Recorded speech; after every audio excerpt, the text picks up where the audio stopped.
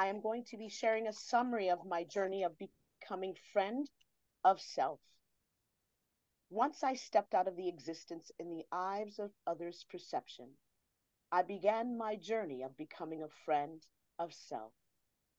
A true friend has been defined on one occasion as one who genuinely cares about your overall well being. They offer support when needed and are foundationally grounded in trust. Further, they improve your quality of life. They help to promote your self confidence with honesty and unconditional love. They are non judgmental, yet they will help you progress mentally. Equally as important, they got your back. With this knowledge, I decided to change my own narrative by unclothing the many layers of identity given to me by those who loved me in the village where I was born. By removing the people, places, things, and thoughts that no longer served me, I committed to developing a friend with self.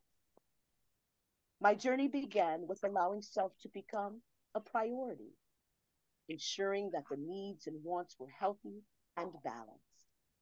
I took time to be with self. Practicing self care and wellness was a time of discovery and learning about self. It was here that I found it is critical to recognize, set, and keep boundaries.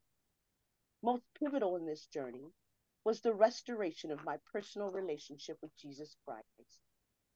Fellowshipping with other Christ followers in and outside of a chosen church, along with studying the Word of God, gave friendship a much deeper meaning. I practiced gratitude and forgiveness of self and others. I became an active listener of self, removing thoughts and actions of denial. I began to speak and accept the truths about self.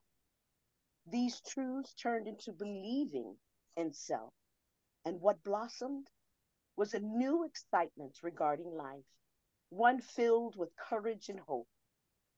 Courage and hope allowed for intentionality building healthy relationships outside of self, while sharing and exploring new levels of friendships. This also resulted in a lesson for others on how to respond to the identity of friend of self. These few challenging milestones in becoming a friend of self have become a lifestyle for me. Not only have I come to know, listen to, and care for self, but what is manifested has allowed me to continue to show up, be there as a friend to self. And what I have found to be most key is a friend of self attracts unity and connection, reflects love, and brings about healing. When you become a friend to self, you can become a friend to others.